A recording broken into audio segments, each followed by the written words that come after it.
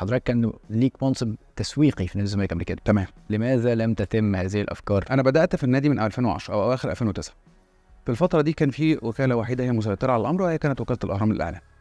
وطبعا معروف كان فروق الأرقام وحتى توقيتات إن هو بيديك آه، مبالغ الرعاية الخاصة بيك.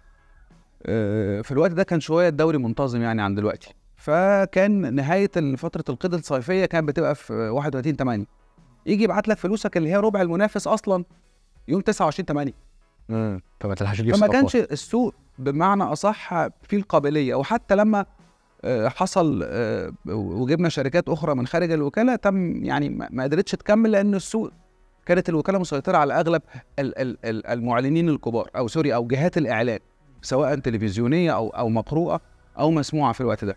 لأن كان لسه في الوقت ده فكرة الجرايد الورقية لسه مستمرة. عدت المرحلة دي ودخلنا في 2014 بدأت دخول شركة اخذت أمور النادي كلها. أنا في الوقت ده أنا كان عندي تحفظ لأن أنا كان لازم أحتفظ للنادي ببعض الأوجه اللي أنا أقدر أبيعها منفصلة. ولكن في الوقت ده خلي بالك برضو أتصور إن متخذ القرار في الوقت ده هو مصدق إنه يلاقي رقم كبير لأن النادي كان فعلا فيه أزمات. فجالك شركة حطت رقم وبقيت بعد كده دخل في في القطر بقى بتاع هذه الشركة أعداد كبيرة جدا من الأندية.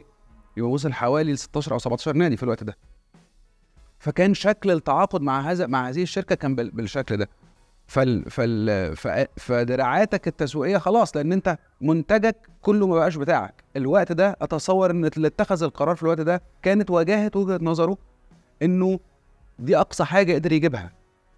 فاهمني؟ بس انت ما كنتش موافق على الحل النقطة دي مش كل لا الديل طبعا كويس بس أقصد كان في أمور لازم تترك للنادي. يعني مثلا الإعلانات داخل النادي لسه بتاعتي.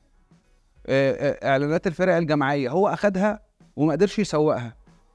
فاهم قصدي؟ يعني هو خد حقوقها وما قدرش يسوقها. فبقيت أنت لما تيجي تجيب معلن فأنت لازم برضه هترجع تروح له. فممكن هو بالنسبة له الرقم مش مرضي. مش مرضي. بس أنت في بعض الألعاب at least أنا لو جبت ليها راعي غطى لي تكلفه اللعبة دي في السنة يبقى أنا عظيم طبعا. عملت offloading لنفسي من من من قطاع.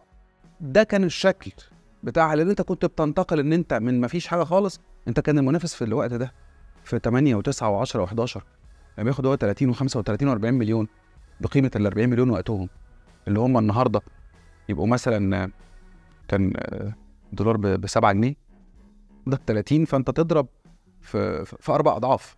يعني اللي هو ال 40 يعني ما يوازي 160 مليون. وأنا كنت باخد 3 و4 مليون جنيه.